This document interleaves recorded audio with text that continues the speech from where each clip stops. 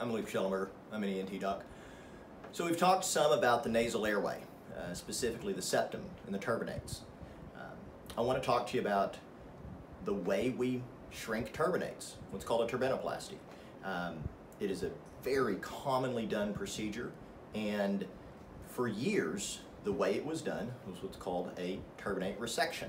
Okay, Basically, a doctor would go in the nose and he'd cut off part of the turbinate.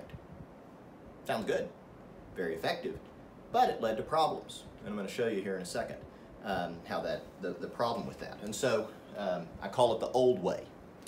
Um, so there's three basic part of the turbinate. There's bone underneath it, there's this soft tissue, and that's the part we want to get rid of, and then there's a mucosa or the lining, okay? Well, if you just cut off this swollen part of the soft tissue and mucosa, again, you make it a lot smaller, but the problem is you've also cut off all this lining, okay? Well, the turbinates actually have a role, they have a purpose, and that is to humidify air as it uh, flows through the nose. The, the sensation of healthy nasal airflow is a huge lifestyle issue. It's a huge thing that makes us feel better. That's the reason why patients like breathing through their nose. People like breathing through their nose is because it feels a whole lot better than breathing through your mouth. It's much less dry and it's again big reason why patients come in to see, see me is because they're like, if I can't breathe through my nose, I don't like it. It doesn't feel good to breathe through my mouth. My mouth gets real dry and I feel like I'm just not getting as much air because of that healthy nasal airflow is such a big important part um, of, uh, of how we're designed.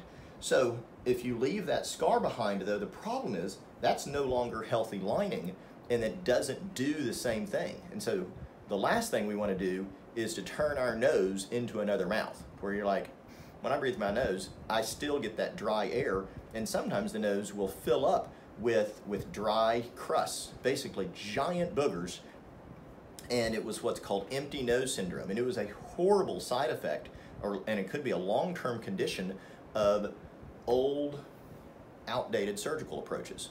So I've shown a picture of the this thing called a microdebrider, and I've got one in my hand. Basically, what it allows us to do is a newer type of surgery. And this was de uh, designed in the uh, in the late 80s and 90s.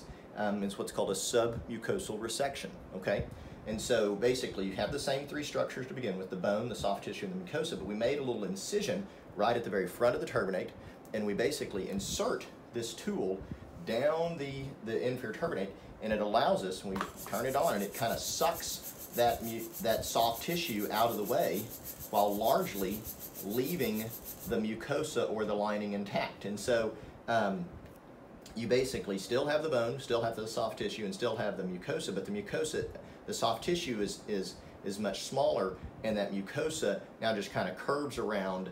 Um, and so it's kind of like turning a grape into a raisin, okay? You could make a grape smaller by cutting it in half, but then you've got all that flesh that has to, has to seal over. Whereas if we just suck out the insides of it, we could turn a grape kind of into that shriveled raisin structure, but it still has all the lining intact. And so that's the really the, the newer way, what's called the submucosal resection, decreases that chances of having that empty nose syndrome. Not to say it could never occur, it hasn't occurred in my practice, but, uh, but it makes it infinitesimally smaller chance of having that risk. Okay?